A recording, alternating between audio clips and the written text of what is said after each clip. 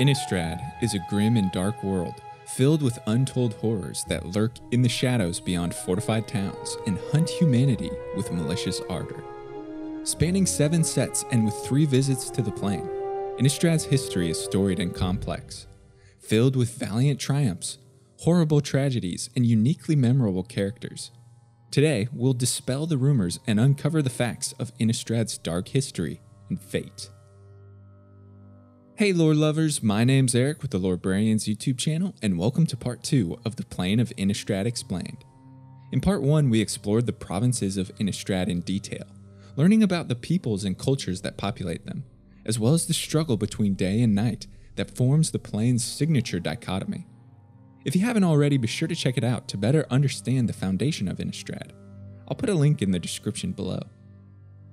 In part 2, we're going to trace the history of this cruel plane from the birth of the provinces to the coming of Avacyn, through the battle against an extraplanar invasion, all the way to the events surrounding the current day of the plane. We'll also take a closer look at the stories and arcs of characters that have either visited Innistrad or currently call it home. But before we begin, I'm excited to announce the channel's giveaway is still live. We're approaching 20,000 subscribers.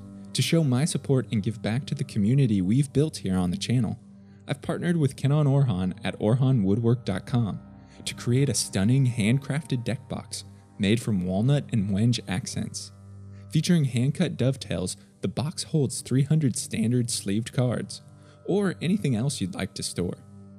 All you have to do to be entered in the giveaway is make sure you're subscribed to the Lorebrarians channel and leave a comment in this video or my previous Finding Flavor Crimson Vow video with the hashtag giveaway. If you've already done so in the last video, no need to repeat here. The running will last through the month of November, with the winner announced in December. And a big thanks to my Patreon supporters who are helping me grow and improve the channel. If you're interested in learning more and earning some perks like shoutouts and early access to videos, check out patreon.com slash the Lorebrarians.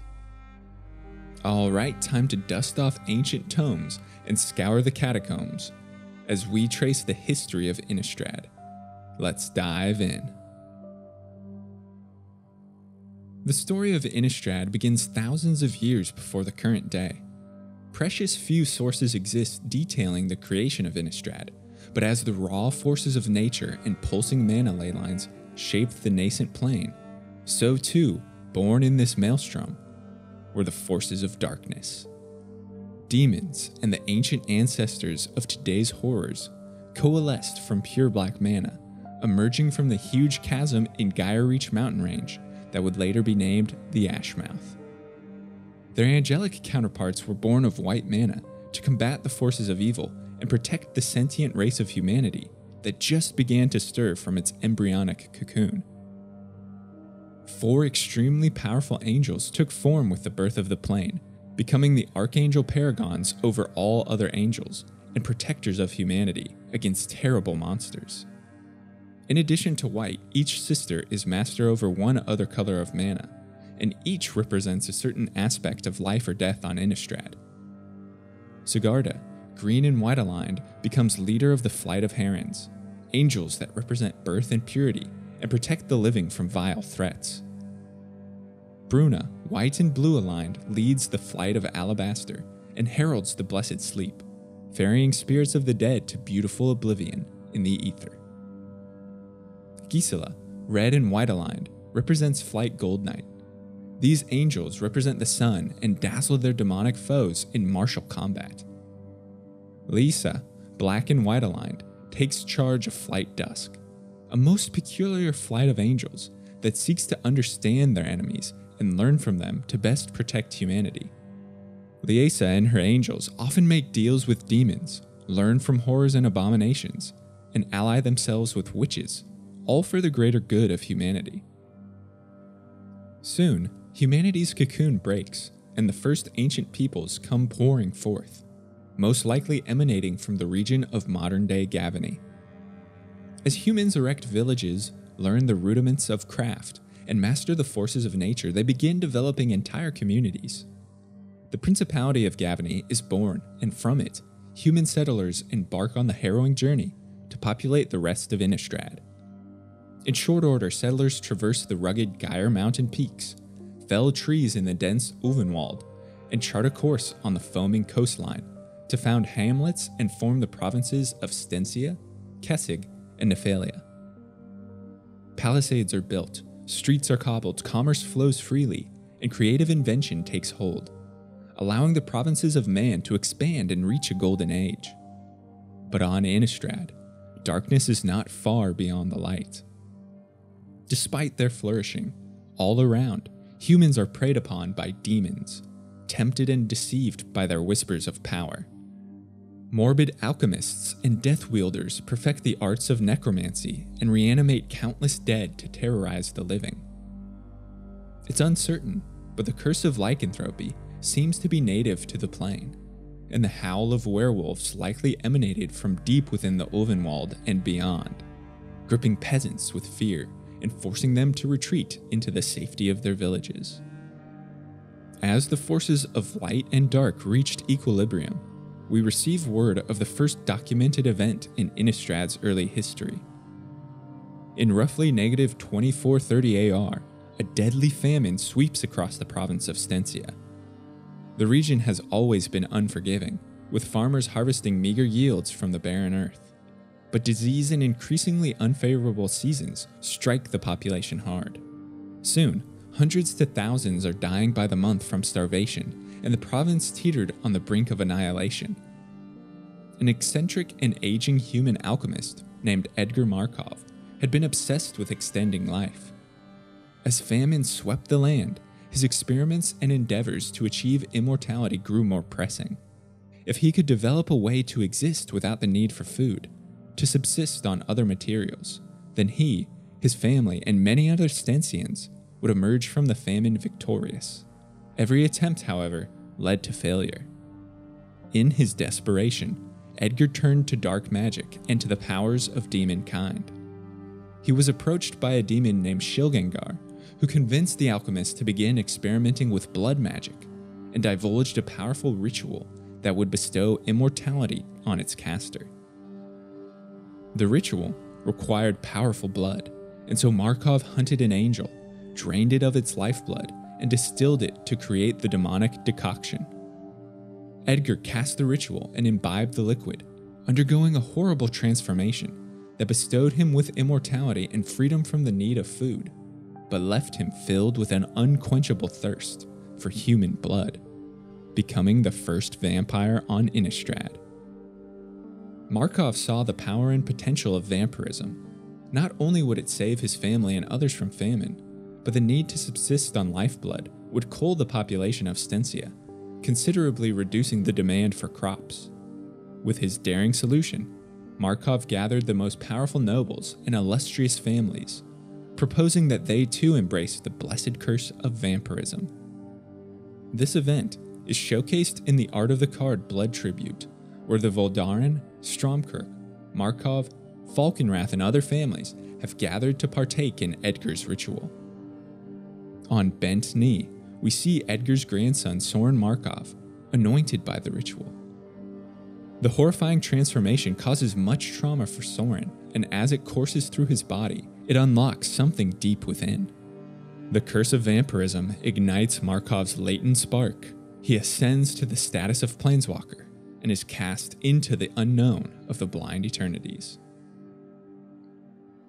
We hear little of Innistrad for many ages after the birth of the vampire bloodlines, but Sorin Markov travels across the planes to seek arcane knowledge and satisfy his dark pleasures. Nearly 1,000 years after his ascension, Sorin befriends and acts as benevolent mentor to Nahiri, a young kor planeswalker and lithomancer from the plane of Zendikar. The two grow close in their travels through the multiverse, and in roughly negative 1440 AR, stumble upon a terrible sight the destruction of a plane by three enormous, interdimensional beings known as the Eldrazi Titans. The Eldrazi are creatures of the blind eternities that feed on the mana of planes, extending their hungry maws into the physical realm and absorbing all they can before the plane collapses. Realizing the threat these beings pose to their own worlds and countless others, Sorin and Nahiri ally themselves with the Elder Dragon planeswalker Ugin, who had been observing the Eldrazi for countless years. The trio decide to lure the Titans to Nahiri's home plane of Zendikar, rich with vibrant and powerful mana ley lines, and trap them in stasis using Ugin's draconic magic and Nahiri's Hedron network. Their plan bears fruit, and the Planeswalkers successfully trap Ulamog, Kozilek, and Emrakul in a dormant state. Sealed at the Eye of Ugin, the trio make a binding pact that should the Eldrazi break free of their chains, the Planeswalkers will return to reinforce the fetters. This pact, and Sorin's relationship with Nahiri, will have considerable repercussions for both the Planeswalkers and their home worlds for centuries to come. While Sorin travels the blind eternities, Innistrad grows more and more dangerous for the struggling race of humans. At this point in time, the four provinces of Gavony, Stensia, Nephalia, and Kessig have been established and fortifications built around the largest cities. But beyond the guarded parapets and warm glow of lantern light, the humans of Innistrad are relentlessly hunted by the horrors lurking in the shadows. The four noble vampire families of Markov, Stromkirk, Falkenrath, and Voldaren strengthen their positions, grow their ranks, and constantly prey upon humanity. Over the decades, the division between the vampires and the humans from which they descended stretches wider. With increased strength, stamina, longevity, the vampires of Innistrad completely dominate the province of Stensia, and some go as far as Gavony or Nephalia. They erect great manors and large palatial estates to satisfy their vanity and demonstrate their superiority. With vampire attacks increasing and humanity already embattled with the demons, werewolves, and untold monsters of the plane, their cities crumble. Once great bastions of light, snuffed out by the encroaching darkness. Human populations dwindle with alarming speed as the self indulgence and decadence of the vampiric bloodlines grow. In dire straits and facing potential extinction, the humans of Innistrad turn to old magic and older gods for a promise of hope. Though we have no accounts to verify the certainty, it's likely during this time that the worship of Grindanu began, and with it the practice of celebrating the Harvesttide festival. We first hear of Grindanu from Katilda in the set of Midnight Hunt, an entity that seems to be a god of renewal, nature, and hope. Harvesttide, a festival of light and rejuvenation, is meant to give thanks to Grindanu for its protection and to celebrate living another year on the Grim Plain. The ancient artifact known as the Celestus may also have been built around this time, a device capable of balancing the cycle of day and night and ensuring humanity's light would not be snuffed by eternal dark. But Grindanu isn't the only god worshipped in this time. Runo, the eccentric progenitor of the Stromkirk vampire bloodline, takes up residence in the coastal province of Nephalia, where he becomes enamored with the ocean, its beauty, its power, and its infinite wisdom. In the flavor text of Awoken Horror, we hear Runo's dedication to the sea and its god. It serves as evidence of the ancient power of the deep, a reminder that the sea is the only thing worthy of reverence.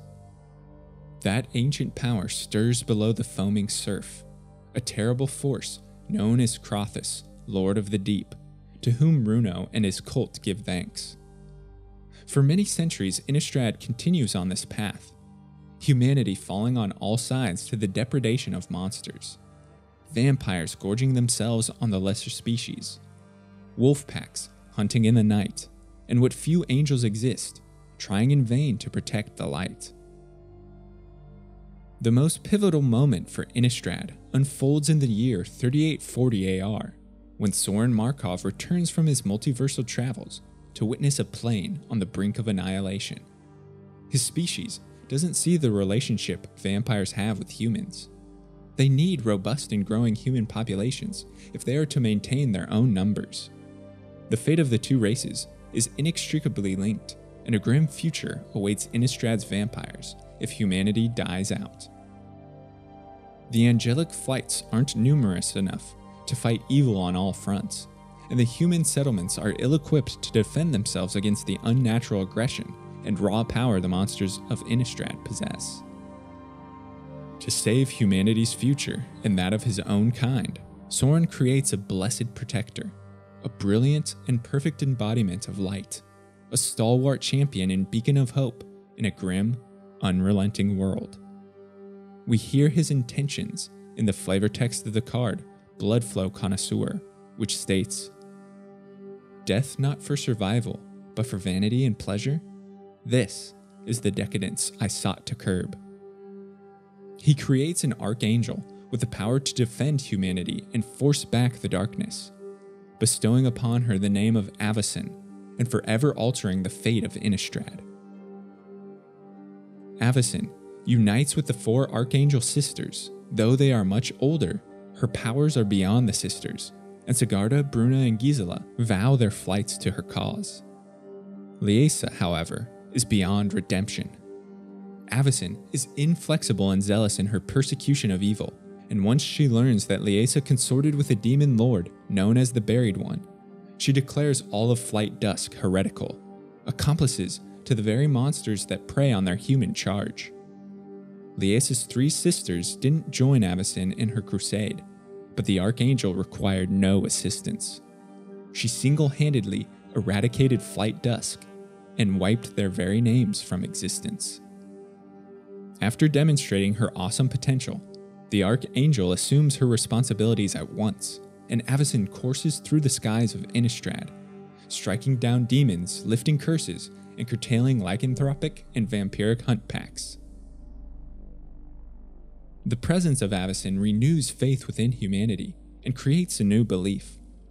No longer drawn to the shamanic superstitions of the Harvesttide Festival or worship of the old gods, humanity creates instead the Church of Avacyn, from which their hope flows.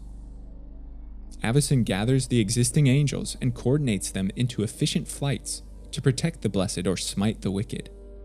Prelates and church leaders create knightly orders of Cathars and divine inquisitors to enact the angels' will and protect their dwindling settlements. As the forces of light strike back the encroaching dark, Sorin creates an artifact to assist Avacyn with her purpose as plane-wide protector. He uses rudimentary knowledge in lithomancy gained from his travels with Nahiri to sculpt the Helvault, molding a large fragment of moon silver into a monolithic prison that traps beings too powerful to be destroyed, namely the demons of Innistrad. They are instead to be bound within the mystical Helvault, a sentiment echoed in Avacyn's oath, which appears in the flavor text of Bonds of Faith and states, What cannot be destroyed will be bound. In the following decades, Avacyn, her flight of angels, and her church restore the balance and protect humanity against the lurking predators. For his efforts, Sorin is marked a traitor to the vampires. Their hedonism and vanity blinded them to the bitter fate that awaited the race once humans were eradicated, and they view Sorin's actions as a grievous betrayal worthy only of contempt. Shortly after Avacyn's creation, the lithomancer Nahiri planeswalks to Innistrad seeking Markov. It seems he's become a traitor to more than just his bloodline. In a frenzy, Nahiri berates Sorin for leaving her plea unanswered. The Eldrazi had wrested free of their chains and unleashed their spawn on Zendikar once more. In her moment of need, Nahiri invoked their old pact and called to Ugin and Sorin for assistance, but neither appeared. Though she reinforced their prison on her own, Nahiri searched for Sorin, worried as to why he didn't show, only to find him alive and unharmed on his home plane. Furious, Nahiri accuses Sorin of endangering Zendikar and threatens Innistrad. Though Sorin states the Helvault was responsible for interfering with her interplanar beacon, the Lithomancer refuses to listen and moves to action. Avacyn, protector of Innistrad, senses the threat Nahiri poses to the plane, and so intercepts the Lithomancer. In a flash, the two come to blows, but the fight is swiftly ended when Sorin overpowers the Lithomancer and banishes Nahiri into the Helvault, imprisoning her in stasis. For nearly 1,000 years, Avacyn and her angelic host bolster humanity's faith and push back the darkness on Innistrad. With holy invocations and the power of Moon Silver, she and her flight trapped dozens, if not hundreds, of demonic beings within the mystical Helvault, cleansing much of the area around the Ashmouth. The Moonsilver collars that Avacyn and her angels used to bind demons and other abominations for transport to the Helvault takes on special meaning for humanity and becomes the symbol of the Church. Their endeavors instilled a sense of duty and honor within humans, who also took up sword and silver in the fight against demons. The Church of Avacyn grows into the leading religious, political, and military institution headquartered in the high city of Thraben in the province of Gavony. From here, the will of Avacyn is made known, and word spread to the furthest villages along even the most isolated causeways. The ranks of the knightly orders of Cathars grows. Their famed riders and the brutally efficient inquisitors of the church hunt down vampires, werewolves, and all manner of predators lurking both beyond and within city walls. The most famous being the knight turned saint named Traft. Traft was renowned for his legendary skill in combat against unnatural threats, and although he couldn't destroy a demon's essence permanently, he repeatedly slayed them and thwarted their plans to poison the minds of humans. So great were his abilities that Traft was trusted and assisted by the warrior seraphs of Avacyn. But shortly after his 40th year, the saint was lured and tricked into slaughtering several people in a ritual for the demon lord Withengar who proceeded to kill the remarkable demon slayer.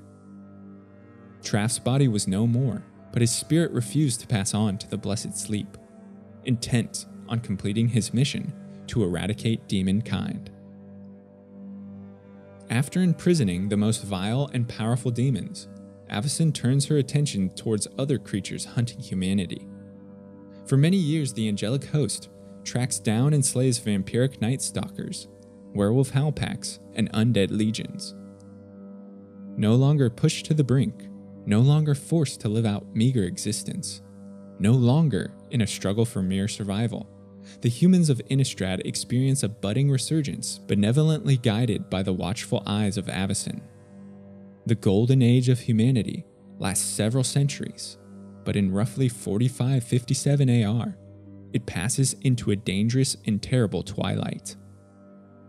Though much of demonkind is shackled within the binding powers of the Helvault, the most ruthless and cunning of all demon lords remains a present threat the treacherous Griselbrand. For decades, Avacyn has tried and failed to incarcerate him. For decades, he has tried and failed to poison her soul or slay her. Finally, he emerges from the shadows at the base of the Helvault and shouts a roar of challenge to Avacyn directly. For four days, the rivals clash, engaged in an epic and brutal battle, witnessed only by an angelic host and the leader of Avacyn's church, Mikaeus the Lunarch, with a contingent of his most trusted bishops. At first, the two are equal, and neither the angel nor the demon can gain the advantage. Spear and claw clash, and powerful spells are cast. Finally, on the fourth day, Avacyn sees an opening she puts all of her might into a desperate lunge and thrusts her moonsilver spear into Griselbrand's body, pushing him towards the Helvault. But the demon won't go quietly, and he won't go alone. Just as the vault opens to absorb his essence, Griselbrand impales Avacyn with his sharp claw. Locked as they are, both are pulled into the magical prison. Avacyn, defender of humanity and savior of Innistrad, has been defeated. Her fate is known only to Mikaeus and his prelates, who refuse to divulge the truth for fear of the hysteria it will cause. These events set the stage for the story of the Innistrad block. Avacyn's absence is immediately felt across the plane. As a source of divine faith and holy retribution, blessings or prayers made in Avacyn's name were imbued with magical strength to withstand evils. Now that she's missing, the holy wards that once protected hamlets and city palisades weaken. Prayers on the lips of pilgrims and parishioners go unanswered, and Innistrad slinks once more into a nightmare world of despair. The vampires and werewolves that were so zealously hunted grow more ambitious and less fearful. The persecuted Stitchers and Ghoul Callers, whose creations were cleansed with holy fire, once more begin raising scores of undead. Demons, who had for so long been thought of as a myth among most villagers, stir from the ashmouth to prey on the living. The holy orders of Night Cathars are stretched thin to protect settlements against increasing attacks, but their most valuable weapon in their struggle has been taken from them. Without Avacyn, their faith has no vessel or source. The holy protection her name invoked is broken, and even the angels of Innistrad lose hope during the sudden dark ascension, as seen in the art and flavor text of Requiem Angel, which shows a member of the host despondent at the foot of a holy statue and reads When angels despair, what hope can remain for mortals? Within this dark world, no human settlement is safe from the depredations of monsters, as is highlighted by the destruction of Avabruck. The city of Avabruck was strategically situated between two major causeways and acted as the provincial seat of Kessig, a budding cosmopolitan area at the edge of the Ulvenwald. As its defenses weakened, the city was attacked from the inside and out by werewolves of the vicious Mondronen Howl Pack. For days, the streets ran red with blood as werewolves slaughtered villagers in droves. After the bloodshed, the Mondronen enacted a blood ritual that unleashed a mystical concussive force leveling the city. The destroyed town of Avabruck became known as Hollowhenge, a place to be avoided by the living. All across Innistrad, other human communities share the same fate as Avabruck. Despite their anguish, Mikaeus remains resolute in maintaining the secret of Avacyn's whereabouts. He charges Lothar, Cathar and Guardian of Thraben, with the defense of the Helvault. Under no circumstances can it be destroyed or captured. To assist with his mission, Lothar seeks the young but charismatic and valiant Cathar Thalia to act as his second. Thalia earned her reputation as a selfless warrior early in her career when she defeated an entire Howl Pack to save the life of one man. Together, the two bolster the High City's defenses and remain vigilant in their watch, for word quickly reaches them of an unrelenting and dark force marching on Thraben. The insane necromantic siblings Gisa and Geralf Cecani are a master ghoul caller and stitcher, respectively. They're also highly competitive and continually seek to best one another in their pursuit of the perfect undead.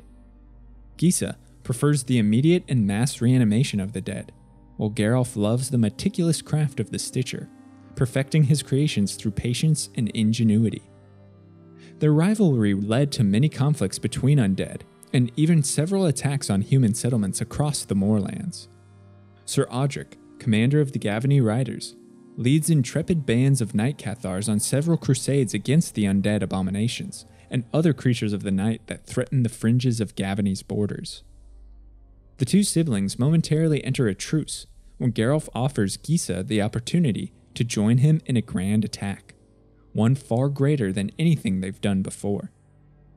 The pair agree to turn their combined undead hordes on the city of Thraben, jewel of the church and source of hope. But before their assault begins, Geralf sneaks into the city undetected, makes his way to the Lunarch's chambers, and murders Mikaeus in the dark of night. The true whereabouts of Avacyn die with the Lunarch's final breath.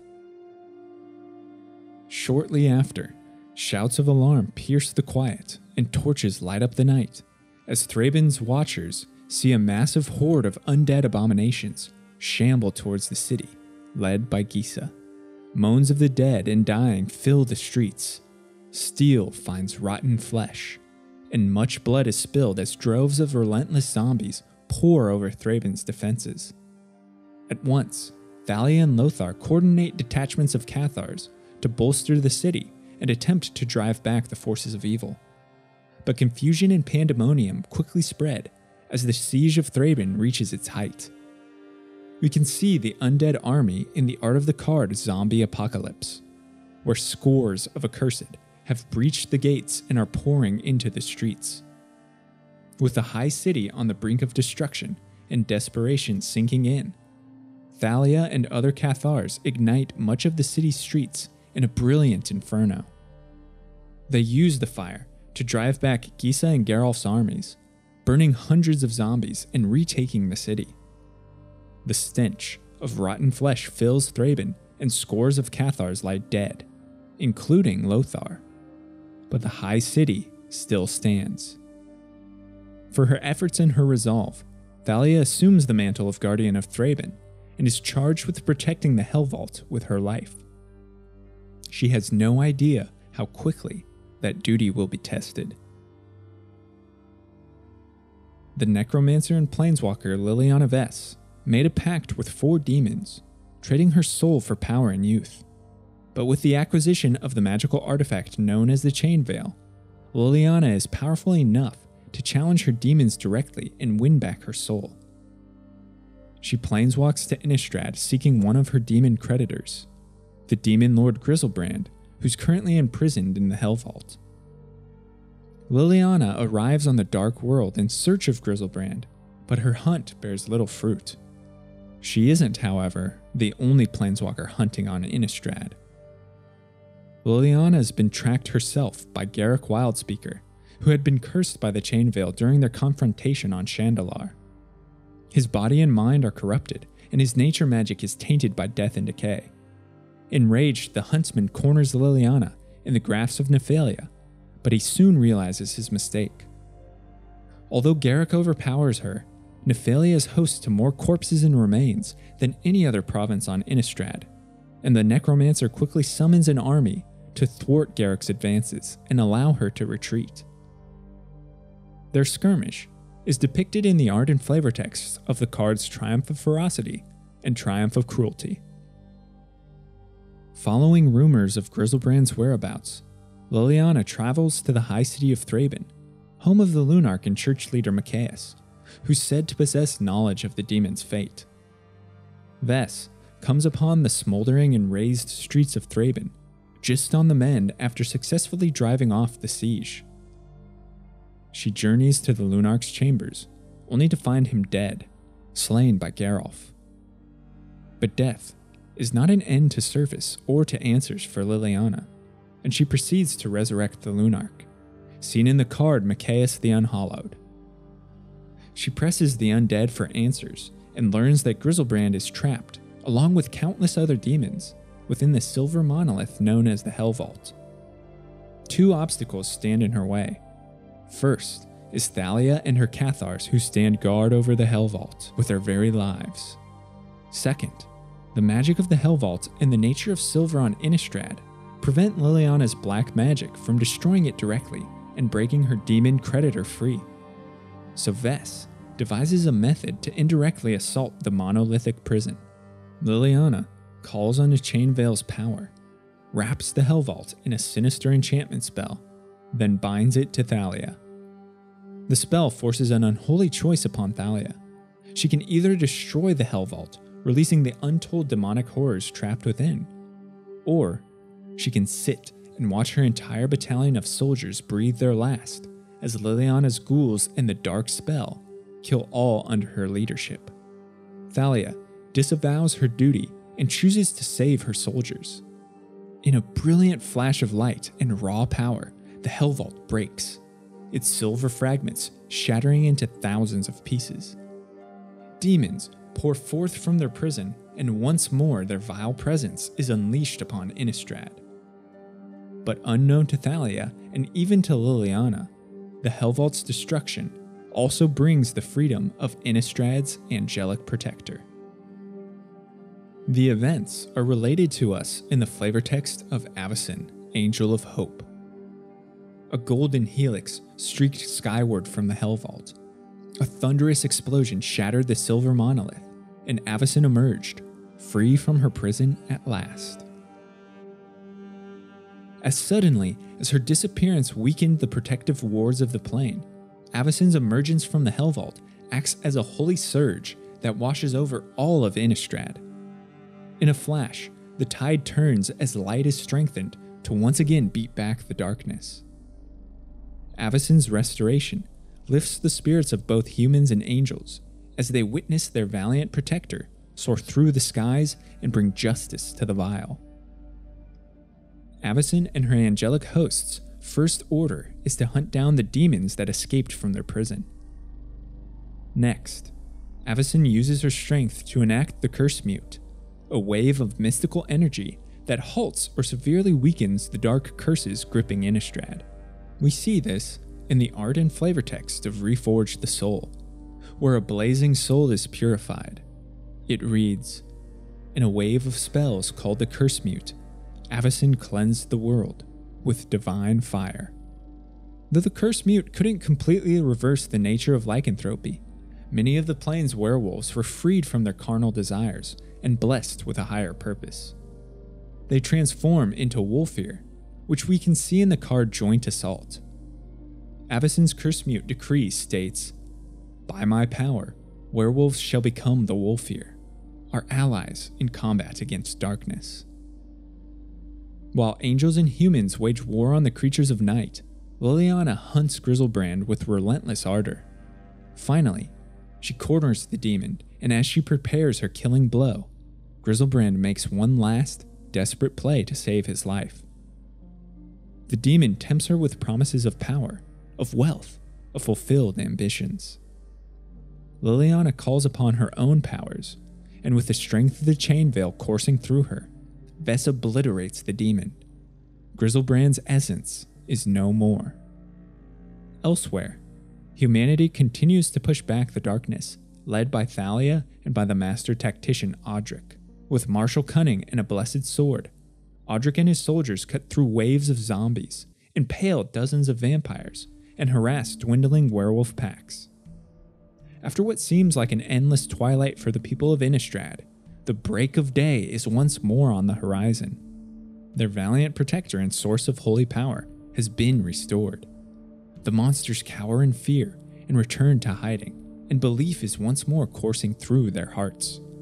But the destruction of the Helvault released another force on the plane, one more powerful than Avacyn and more sinister than Griselbrand. A force that will stop at nothing to bring pain and destruction to the plane, to Sorin Markov's homeworld. The Helvault also releases Nahiri, the kor lithomancer and planeswalker from Zendikar, whom Sorin banished into the prison for 1,000 years.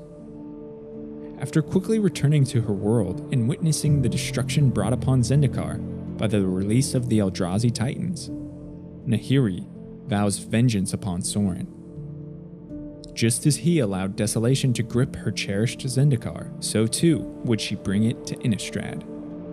Twisted by rage and anger, Nahiri immediately prepares her vengeance that will bring great suffering to Sorin and shake Innistrad to its very foundations. Although the defender of humanity has once more returned to the skies, there's a different aura surrounding Archangel Avacyn. She quickly grows more zealous in her crusade against evil, more suspicious of her human flock's own innocence, and more erratic in her behaviors. But it's not just Avacyn. Her angelic host and many other creatures on Innistrad are changing in mind and body. The horrors of night are mutating, transforming into more grotesque beings with multiple appendages and mouths. Even Avacyn's collar, symbol of the church and divinity, has become twisted. Paranoia grips humanity. We see the madness of the angels and the xenophobic nature of the church in the formation of the Lunarch Inquisition. These are on display in cards such as Always Watching, which depicts a twisted host of angels harshly scrutinizing humans. And on the flip side of Avacynian missionaries, which shows Lunarch Inquisitors zealously persecuting traitors within their ranks. Disillusioned by what the church has become and realizing that their famed institution has been infiltrated by Skirsdag cultists, seen in the flavor text of Skirsdag Supplicant, Thalia becomes branded a heretic and instead establishes the Order of St. Traft, to which Odric and countless other Cathars pledged their allegiance. Surrounding these new developments is the appearance of mysterious cryptoliths that dot the landscape. These twisted rock formations are erected all across Innistrad and are of unknown origin. piquing the interest of Planeswalker Tamiyo, a Soratami moonfolk from Kamigawa that traveled to Innistrad to study the powers of its moon. Tamiyo researches the cryptolith structures, believing they might be responsible for the transformations and madness befalling Innistrad. Though the moonfolk frequently disappears into the wilderness for days to weeks, Tamiyo leaves behind her revelations and clues bound in her journal. Meanwhile, Nahiri returns to Markov Manor, seething with hatred and seeking to enact retribution against Sorin. Though Sorin is away, she unleashes her lithomancy on the unsuspecting vampires, utterly obliterating House Markov and decimating its ranks. We see her handicraft on display in the art of the card Foreboding Ruins, where the fractured remnants of Markov Manor lie suspended in air, fueled by Nahiri's magic. Amidst the fear and pandemonium surging across Innistrad, Jace Beleren travels to the plane in search of Sorin Markov. He's pursued by a pack of werewolves upon his arrival, but Liliana Vess, who has residence on Innistrad, defeats the Howl Pack and offers her hospitality to the beleaguered traveler. Jace relates the events of Battle for Zendikar to Liliana. The three Eldrazi Titans emerge from their slumber to wreak havoc upon the plane but the newly formed League of Planeswalkers known as the Gatewatch were able to defeat Ulamog and Kozilek with the help of the plane's natives. Unfortunately, Emrakul, the most powerful of the Titans, escaped and hasn't been seen since. Jace is seeking Sorin, one of the planeswalkers that originally imprisoned the Eldrazi, to assist in tracking down and neutralizing Emrakul. Beleren sets out on the trail to find Sorin and to uncover the mystery of Innistrad's madness, which takes him to the ruins of Markov Manor. The fallout of Nahiri's attack is still fresh, and although Jace doesn't locate Sorin, he finds Tamiyo's journal amidst the death and destruction. The journal speaks of the cryptoliths and how they are directing the flow of mana ley lines to a particular location for use in a massive spell. Jace follows the clues in the journal the trail of the cryptoliths, and the accounts of a mentally broken and raving woman, which all lead him to the Drownyard Temple off the coast of Nephalia. His own mind is attacked as Jace approaches the focal point of the cryptoliths. He sees illusions of himself and hears otherworldly whispers. Below, hordes of undead zombies mill about the cryptoliths. Human cultists and twisted worshippers say prayers and even a host of angels is present to sing of salvation. Tamiyo's journal indicates that the purpose of the temple is to relocate a large celestial object in the skies. And Jace has a suspicion that Liliana is responsible. The voices in his head affirm his thoughts, and now completely under the maddening influence of the cryptoliths, Jace returns to Vess's manor and confronts her.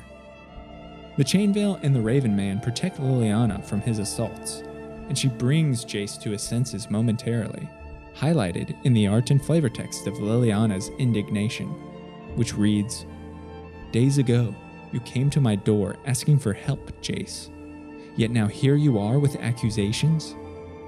Still without answers as to the purpose of the Cryptoliths and the madness that grips Innistrad, Jace travels to Thraben to confront Avacyn directly. There, he meets Tamiyo, who uses her powers to completely free Jace of his madness. He submits that Avacyn is corrupted, it's her infecting and twisting the plane, and the only way to cure Innistrad is to destroy the Archangel. Tamiyo is reluctant, due to the unforeseeable consequences it could have on Innistrad. Avacyn's mere existence wards the plane from threats, both across the plane and beyond the blind eternities, and her death may unleash untold evils. They aren't given much time to debate, as a maddened Avacyn crashes through the glass and brings the fight to them. Meanwhile, Sorin returns to Innistrad and realizes the gravity of his mistake in his dealings with Nahiri. He enters his family's manor, witness to the violent retribution the Lithomancer enacted upon his kind, seen in the art and flavor text of Declaration in Stone. Within the ruins of the Markov estate, Sorin is moved to strike back against the Lithomancer. To this end, he travels to the estates of Olivia Voldaren and seeks her aid in mobilizing a vampire army to strike at Nahiri. Sorin, however, has little standing within vampire society after being cast out for creating Avacyn. Olivia will agree to lend aid, only if Markov destroys his creation. Sorin reluctantly agrees, and in the cards Call the Bloodline and Campaign of Vengeance, we see vampiric armies mobilized for war. Their respective flavor texts read At Sorin's appeal, Olivia Voldaren summoned the full might of her bloodline to gather at Lurenbraum Fortress. And there is no saving this world, not anymore, but we shall be its bloody vengeance. Sorin fulfills his promise and intercepts Avacyn in Thraben Cathedral as the Archangel attacks Jace and Tamiyo. In her madness, Avacyn doesn't recognize Sorin as her creator and launches several magical attacks at the vampire, which all harmlessly fizzle out. When Sorin again affirms himself to be Avacyn's creator, the madness gripping her mind withdraws, and the angel has a moment of lucidity. All of the twisted deeds and brutal massacres of innocents she's executed come flooding to her, and she realizes what she's become.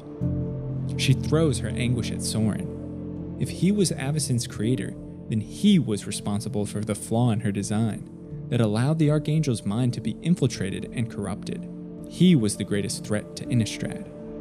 Avacyn calls forth a host of angels from her flight moon Silver to do battle with Sorin.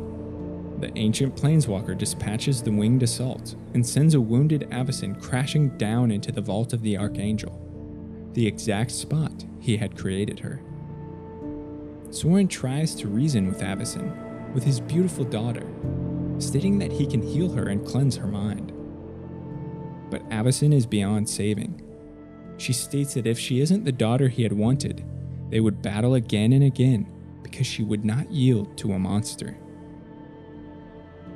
truly heartbroken for what he must go through with, Sorin begins to unravel the spell he wove over a thousand years ago and cast Avacyn into oblivion. This event is brilliantly highlighted in the art and flavor text of Anguished Unmaking, where we see Sorin undo his creation. The text reads Sorin had created Avacyn, so it was a cruelty beyond imagining, a pain beyond description that it fell upon him to end her forever. Reeling from the crushing decision, Sorin realizes this was all to Nahiri's orchestration, for with the disruption of Avacyn's protective magic, Innistrad is no longer safe from interplanar threats. The mysterious cryptoliths, the increasing madness of the plane, the transformation of many inhabitants, all are due to the Lithomancer's machinations. Nahiri erected the liths to pull the mana of Innistrad into an attractive bait to lure a true creature of nightmares. The last of the three Eldrazi Titans released on Zendikar. Nahiri exacts her vengeance upon Sorin by unleashing the devastation of Emrakul. The illustration and flavor text of Coax from the Blind Eternities succinctly states the horror that is unleashed. At Nahiri's call, Emrakul traversed the vast emptiness between the planes and arrived on Innistrad. The Eldrazi Titan bursts forth from the Drownyard Temple and descends upon the high city of Thraben. Emrakul, the promised end, arrives on the plane and desolation will follow. At once, Innistrad is plunged into an eldritch nightmare as Emrakul's corrupting presence spawns thousands of reality defying Eldrazi scions. Her influence also reaches Innistrad's denizens, as those with the weakest minds and souls have their bodies grotesquely mutated into Eldrazi abominations. All across Innistrad, humans, vampires, werewolves, and other creatures are quickly corrupted and transformed into Emrakul's spawn. We see this horrific attack in cards like Extricator of Flesh, where a Lunarch Inquisitor has been transformed, and Abolisher of Bloodlines, where a Voldaren vampire has been blessed with Emrakul's gift. Valiant Knight Cathar Thalia leads the intrepid Order of St. Traft in the organization of Thraben's defenses. She gathers uncorrupted humans and prepares barriers to hold off the relentless Eldrazi hordes. In the fight for survival, grudges and hatred are momentarily cast aside, as Olivia Voldaren arrives to bolster Thraben's holdouts with an army of superhuman vampires.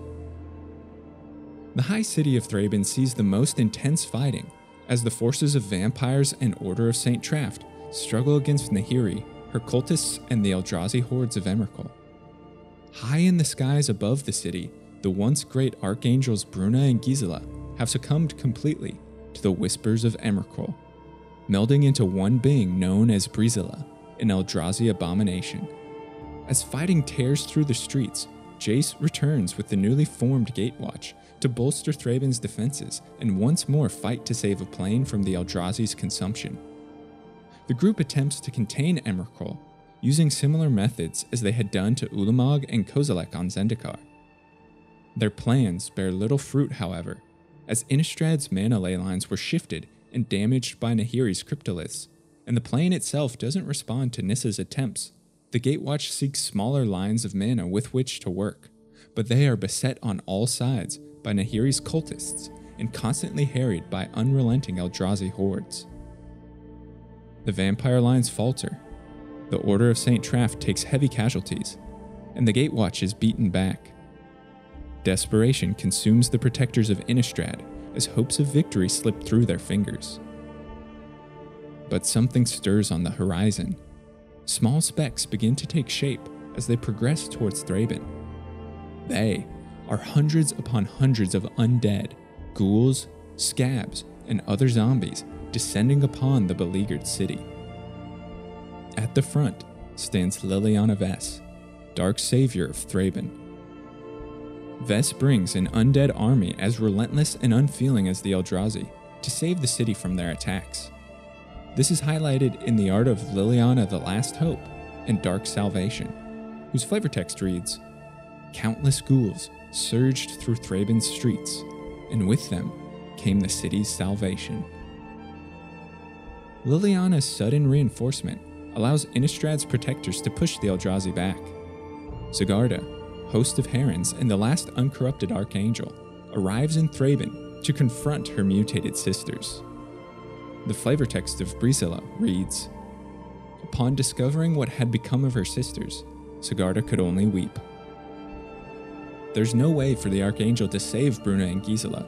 The best Sigarda can do now is give them eternal rest. The angel, assisted by Thalia, who has the spirit of Saint Traft flowing through her, attacks the Eldrazi abomination. Under St. Traft's protective aura, Thalia takes up Avacyn's spear and impales Brisela, slaying the sisters, which we can see in the art of the Secret Lair drop of Thalia, Guardian of Thraben.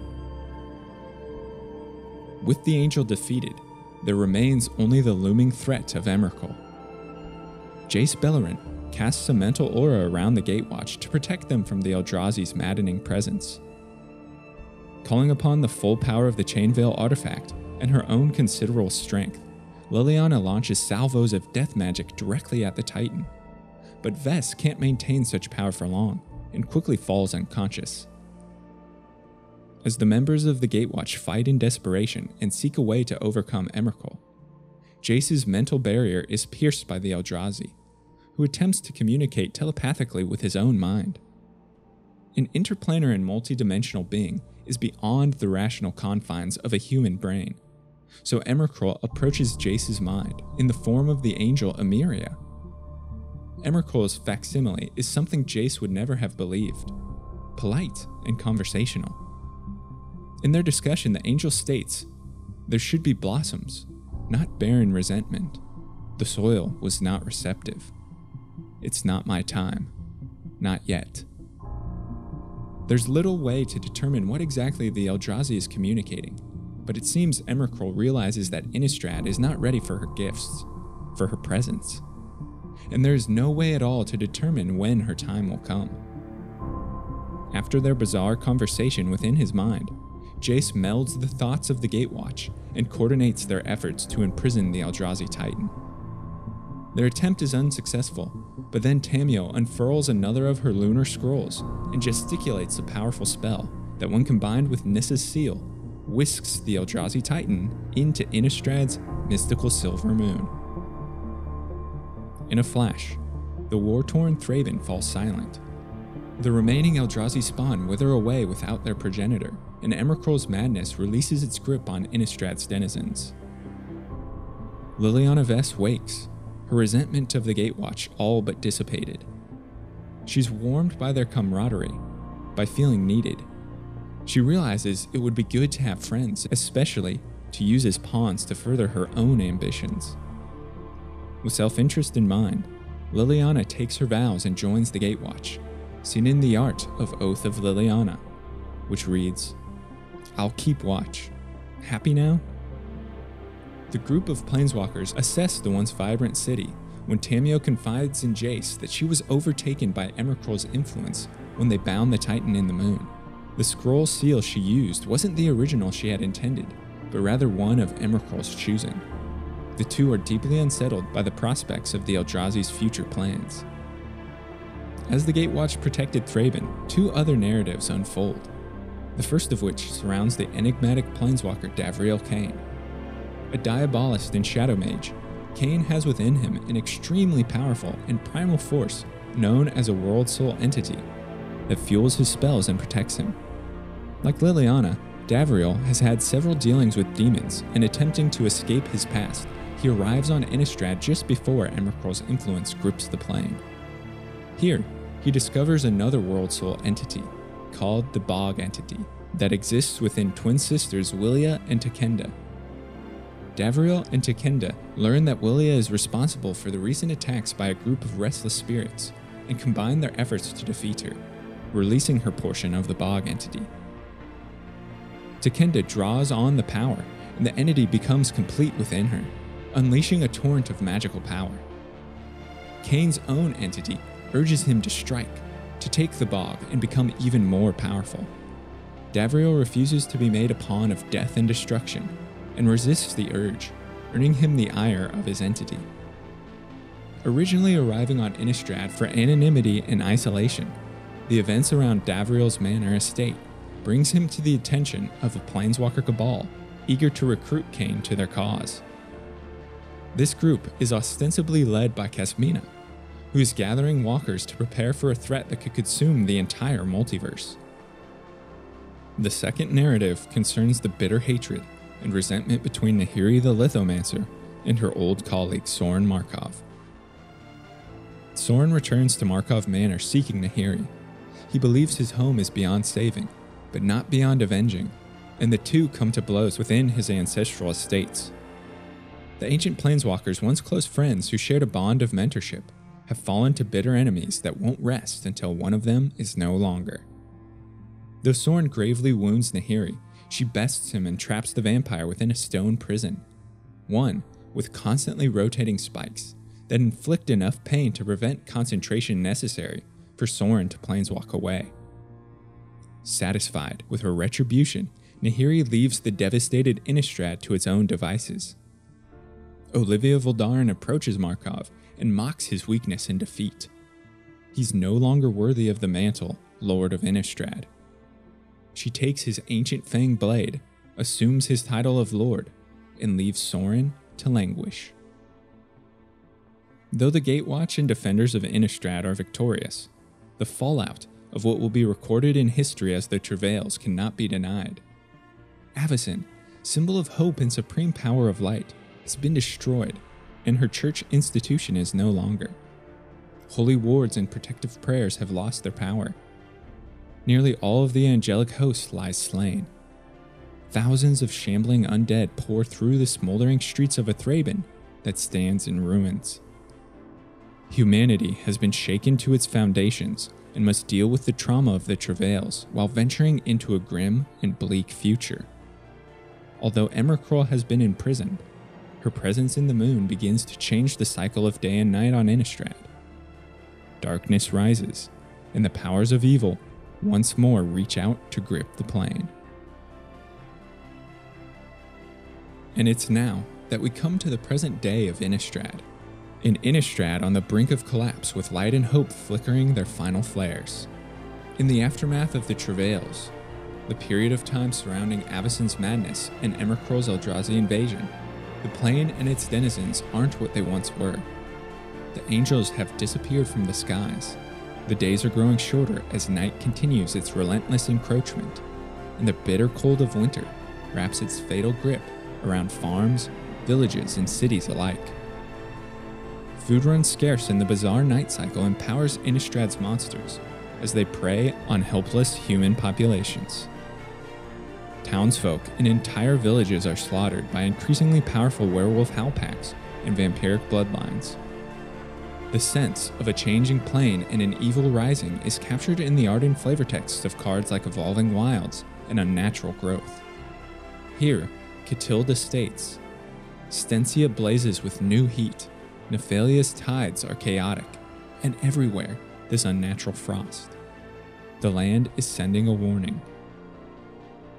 And Unnatural Growth reads With the cycles of day and night unspooled, the twisted sway of the moon only grew and grew. But a great many more desperately hold on to hope. After all, Innistrad's people are nothing if not resilient. Farmers and smiths reform the twisted symbols of the church. Masons and woodsmen rebuild parish halls and burned fields. People try to move on, to see the light, however dim, at the end of their long struggle. Which is what brings so many to the ancient and mysterious rituals of the Dawnhart Coven of witches and warlocks, that unfold in the forests of Kessig. The Dawnhart have for centuries worshipped not the angel Avacyn, but the ancient deity known as Grindanu through ritual performance of a harvest tide festival. In the days of Avacyn, the Dawnhart were persecuted for heresy and witchcraft, forcing them to retreat into obscurity. But with the downfall of the church and subsequent rise of evil, people flock in droves to the rituals in hopes of bringing back the Innistrad that once was. It's in this desperate world that the planeswalker Arlinn Kord finds herself. Just as the plane is struggling between its two halves of day and night, so too is Arlinn fighting between her humanity's sense of purpose and her lycanthropic urges for the hunt and for freedom. As she battles internally, Arlinn seeks to find answers for the shortening of days and the terrible frost that besets the plane, for the increasing brutality of the aggressive werewolf packs. While hunting in the woods, she is approached by Katilda, the Dawnhart Prime, who reveals that her coven has been preparing a ritual to reset the balance, to bring day back to its former glory and cast out the night through the Harvest Tide Festival. The coven and other worshippers are gathered deep in the forest within the ruins of a massive and ancient structure known as the Celestus. Katilda says in the days of old the magical Celestus was used to maintain balance on Innistrad and keep the dichotomy of day and night. But the artifact hasn't been used in centuries, not since the coming of Avacyn, which Katilda posits distracted humanity from the true gods and the old ways. At the center of the Celestus sits a basin that requires two objects the sun gold lock and the moon silver key. Once these artifacts are combined and the ritual is performed, it will activate the Celestus, aligning its weathered and overgrown spheres, once more restoring the balance between day and night. Katilda reveals that the Sun Gold Lock is already in her possession, but she requires the Moon Silver Key. She charges Arlinn with locating the lost artifact, a mission that could save humanity. The path ahead is daunting, perilous, and personal for Arlinn. The increasing werewolf attacks mentioned in cards like Foul Play and Dire Strain Rampage are instigated by the leader of Arlinn's old Mondronen Howlpack, Tovolar, Dire Overlord. After Avacyn's Cursemute, the Mondronen pack was dissolved, but with the strengthening of Innistrad's lunar powers, the wolves of the old pack have joined forces with new lycanthropes, more vicious and blood crazed than most, to create the devastating Dire Strain Howlpack, with Tovolar as Alpha. Arlinn approaches him in the woods and sees his gathering forces. The Alpha attempts to bring her back into the fold. He tells her that she can deny her true identity, her true passions for only so long. He knows deep within that she is an uncaged spirit, a werewolf unbound. He urges her to join the Dire Pack and remain with her kind in the upcoming slaughter, for his wolves are planning to feast on the humans gathered at the Celestus for Harvesttide. Although Arlinn refuses Tovolar's request, her own wolf pack can't resist the hunt. They join the ranks of the Dire Pack and submit to his alpha authority.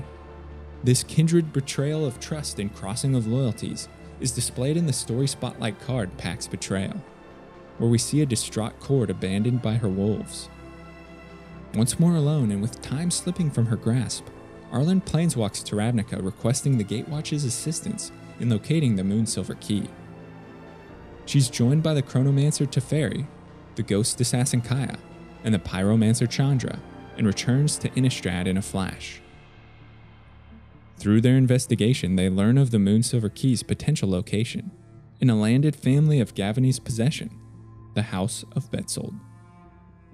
Their journey takes them through the zombie infested streets of Thraben. The once glistening bastion of humanity on Innistrad is now suffused with rot and decay, remnants of Liliana Vess's magic in the battle against Emrakul. They travel through the haunted moorlands beyond Nearheath, where Kaya exorcises the spirits lingering within House Betzold. And their search finally bears fruit within the blasted ruins of Markov Manor. After many generations, the family agreed to pass the Moonsilver Key onto Sorin Markov for safekeeping, where it has remained for many decades. Arlinn whispers a prayer to what angels remain upon witnessing the gruesome scene within the estate walls the terrible aftermath of Nahiri's feud with Sorin. The vampire had freed himself from Nahiri's prison, and after the War of the Spark on Ravnica, returned once more to his homeworld. Agonized and withdrawn, he spends his days isolated in his family's destitute manor. Arlinn and the Gatewatch warily approach Sorin, who sits dejected in the ruins of his family's throne room. They try to reason with him, but Markov is beyond rational thought. He sacrificed centuries of time and energy to keep Innistrad from slinking into darkness. He sacrificed his own creation, and he sacrificed his own family. Sorin refuses to hand them the Moonsilver Key, and as he's about to strike against the Planeswalkers, Sigarda, host of Herons, and valiant protector of humanity, bursts through the windows. Arlinn's prayer from before was heard, and Sigarda confronts Markov. As the angel and vampire come to blows, the Gatewatch reach the resting place of the Moon Silver Key and hurry back to Katilda to bring the ritual and awaken the Celestus. But restoration of day doesn't come easy, for the Harvest Tide Festival is infiltrated and attacked by Tovolar and his Direstrain Howl Pack. This is related to us in cards like Harvesttide Infiltrator and Storm the Festival where we see the werewolves in a frenzied attack. The ritual mustn't be interrupted, so Arlinn and the Gatewatch lead festival goers in the defense of the Celestus. In the heat of fighting, Tovolar and Arlinn seek each other out in a duel for dominance. Kord believes that if she can strike the Alpha down, the rest of the pack will retreat. Their fight is bitter and terribly personal, but Arlinn gains the advantage and defeats the Midnight Scourge.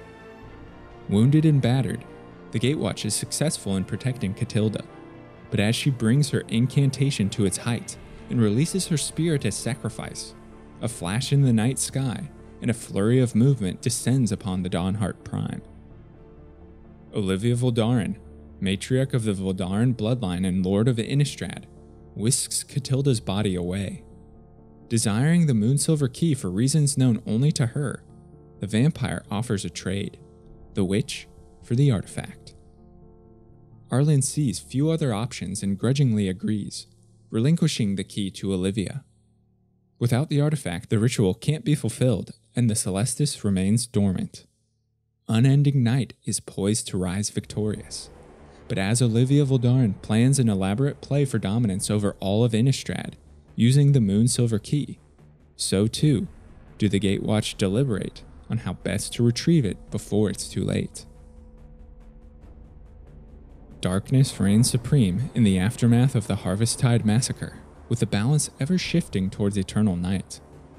The vampire families of Stensia have risen to power, no longer hunted by flights of angels or blessed Cathars, and enact a blood tide tribute on their human populations.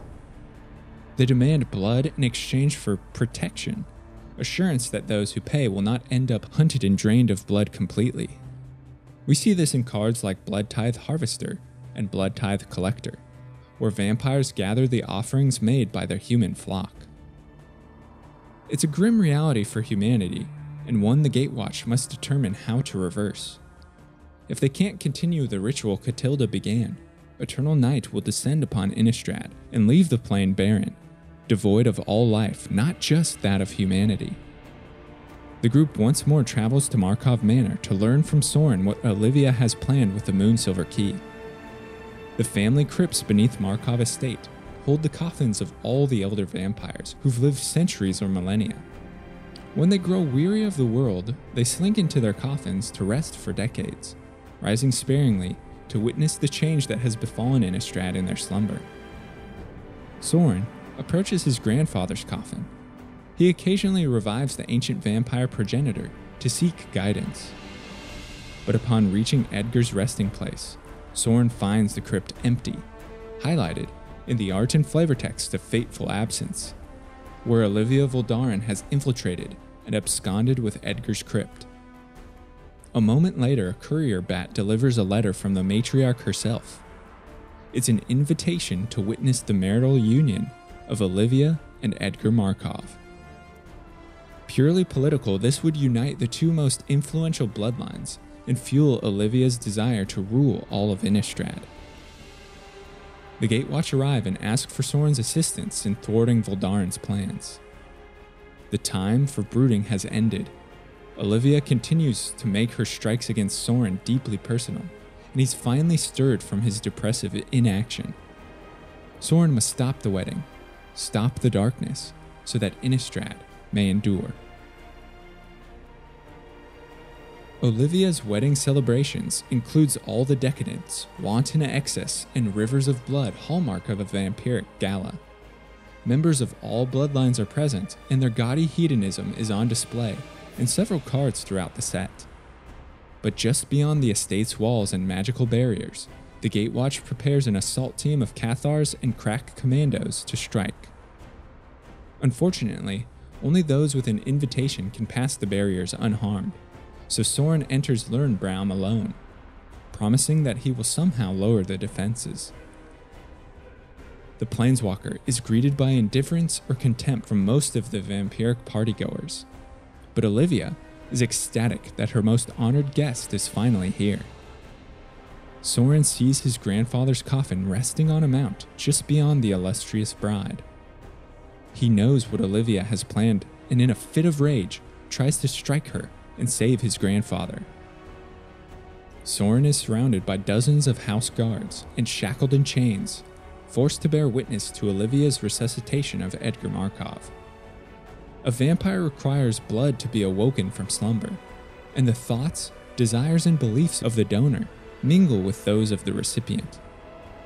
Olivia uses her powerful blood to revive Edgar and entrance him, binding the vampire to her will.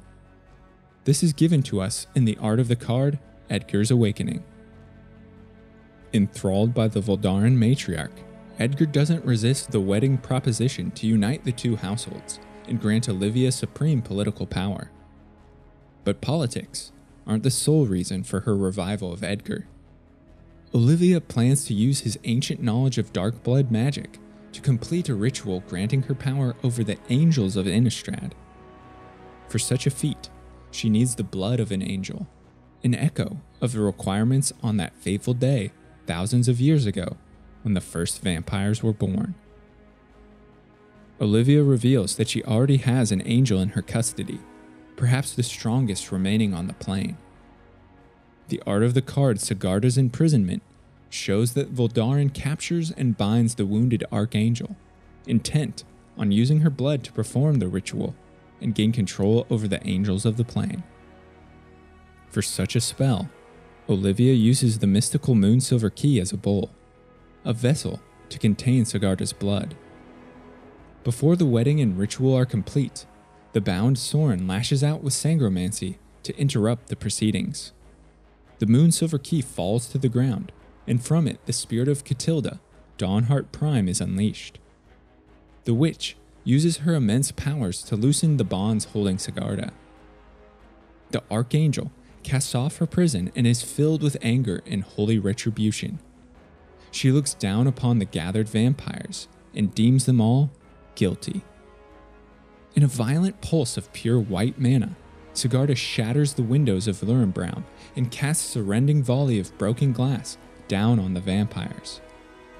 This is seen in the art of the card Sigarda summons, where we see the Archangel joined by her winged flight of herons.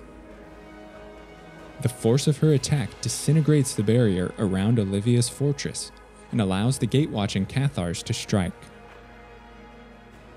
Confusion and death fill Lurenbraum's halls as the Planeswalkers and their human allies crash Olivia's wedding. Kaya calls upon the Geists haunting the castle. Chandra and Teferi lead commandos and partisans. Sorin faces off against his grandfather, and Arlinn tracks down a fleeing Olivia that has in her possession the Moonsilver Key. Though the greater assault is successful, Sorin is beaten by Edgar, and a transformed Arlinn is pierced through by Olivia so nearly achieving her goal and retaking the Moonsilver Key. At the time of this recording, the final story is yet to be published on Wizard's website, but by using the remaining story spotlight cards, we can gather some insight into the resolution of Crimson Vow. The Archangel Sigarda calls upon her angelic flight to bolster the forces assaulting Olivia's fortress and turn the tide of battle. A bloodied and defeated Arlinn might receive well timed aid in the arrival of her familial wolf pack that had abandoned her during Tovolar's attack on the Celestus in Midnight Hunt. This can be seen in the art of the card and the festivities, where a snarling pack of wolves come crashing into the Voldaren ballroom. Arlinn's victory over the vampiric matriarch means the acquisition of the Moonsilver Key. After Lurenbraum is securely in the hands of the forces of light, Arlinn and the Gatewatch return to the grounds of the Harvest Tide Massacre. Place the Moonsilver Key and Sun Gold Lock at the base of the Celestus, and wait for Katilda's spirit to complete the ritual. Powerful, ancient magic flows through the air. The cogs of the Celestus tremble, and the massive structure shakes off hundreds of years of rust and deterioration as the metal spheres shift. In the card, Katilda's Rising Dawn, we see the aftermath of the Dawnhart Prime's spell. The Celestus is placed in a way to bring balance to day and night. A brilliant flash of energy sweeps across the plane, and Katilda's own body is reunited with her spirit. The effects of the Celestus spell are felt immediately as the warm and glorious rays of dawn sear the night and once more bring day to Innistrad. We see this in the art of the card Glorious Sunrise, where Katilda, Arlinn, and Teferi stand triumphant. Their purpose fulfilled. Humanity and the plane at large are saved from destruction in the clutches of eternal night. Though he's fallen from the graces of his grandfather and twice over been cast out as a heretic by vampire kind, Sorin can now rest easy knowing that Innistrad, his home in the plane he sacrificed so much for, is no longer on the brink of annihilation. The effects of Emrakul's presence in the moon have been reversed, and day is ascending. Hope is restored and faith is placed in the Archangel Sigarda, who, along with her flight, will continue to protect humanity from the dark. Arlinn can at the same time embrace the freedom in which she is and pledge herself to a higher purpose. All around, Innistrad is recovering, licking its wounds and rebuilding itself. But although the Celestus ritual restored daylight, it didn't solve the underlying cause. The Eldrazi Titan Emrakul is still bound to the plane, tied to Innistrad, a fact that could have dire consequences for Innistrad and its people in the days to come. Thank you all so much for watching and listening to the complete history of Innistrad. Leave a thumbs up if you like the video, and if you're a fan of and storytelling, or if Magic the Gathering is dear to you, consider subscribing to the channel for frequent uploads. Now I want to hear from you. Which Innistrad set is your favorite? Which storylines capture your imagination? Which characters are you most passionate about? Please let me know, as well as suggestions for future videos in the comments below. Again, a huge thanks to all my wonderful patrons who help make these videos possible. I truly couldn't do it without their support. And if you're interested in joining our community and becoming a patron, check us out at patreon.com slash the Lorebrarians, where you can gain access to me, get videos a day early, and help build the channel among other cool perks. Thanks to script editor Kenan Orhan and to Alex Wakim for the intro and outro music. References can be found in the description.